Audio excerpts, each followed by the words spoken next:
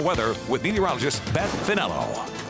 Good evening and thanks for joining us. You might have been woken up by some thunder or the sound of hail or the sound of rain on your window this morning, and that's because we had a line of storms go through very early this morning. You'd see this loop showing things were quiet, but by 7, 8, 9 o'clock, this storm system came through and brought in a severe thunderstorm warning here in Greene County. This same storm system not only affecting us here in the Ozarks, there was a tornado that went through Columbus, Mississippi, and just took roofs off houses, took these cinder blocks and really just threw them on top of that car, if you could see that, and took this power pole and just dumped it right on top of this truck. And this storm system is very large. We are not the only ones dealing with it. We just have wind advisories here in the Ozarks. There's blizzard warnings that extend from Nebraska up through Iowa and into Minnesota. There's flood warnings and flood watches, and there was a tornado watch in Mississippi and Alabama this morning. So this system very large, and it is still snowing in parts of Nebraska and Iowa. Here in the Ozarks, though, things are quiet, but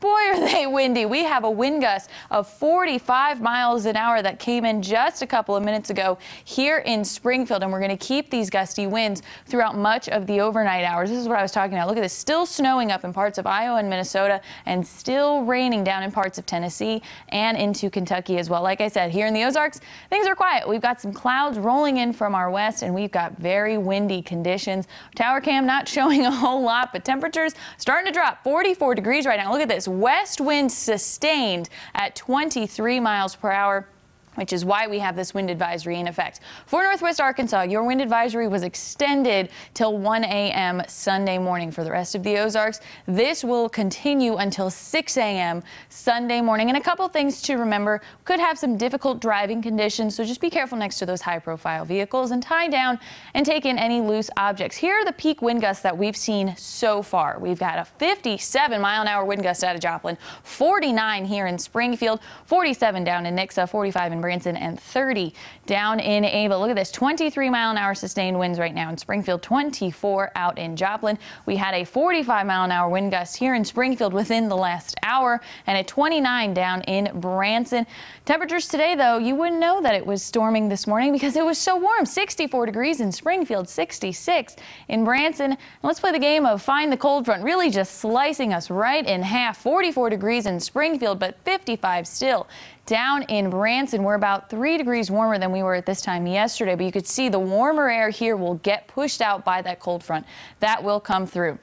Overnight tonight, temperatures will drop into the upper 20s and lower 30s. Tomorrow, temperatures a little bit cooler, only making it into the middle and upper 40s. And by the time you walk out the door Monday morning, temperatures will again be in the 20s. We're going to keep the gusty winds through the overnight hours, and they'll slowly taper off through the day tomorrow. By the time we wake up, still have gusts up to 40 miles an hour possible. And then watch what happens through the day. Those winds will slowly become a lot calmer, and we'll be looking between 5 to 10 mile an hour winds. Overnight tonight, quiet, calm, and cold. Temperatures dropping into the upper 20s and lower 30s. Cooler tomorrow with the northwest wind at 10 to 20 miles an hour. And again, tapering off through the day with temperatures at about 47 tomorrow. Now we're going to keep the warmer temperatures starting at the beginning of the week. And then it looks like we'll have increasing clouds Tuesday ahead of our next shower system for Wednesday, possibly into Thursday and Friday. And then it looks like a cold blast on Saturday. Always Saturday. Always Saturday. We're always here talking about something that happened during the day. I agree. And then that wind, boy, it almost blew my car off yeah, the road. it's really breezy. It is. Thanks so much, Beth.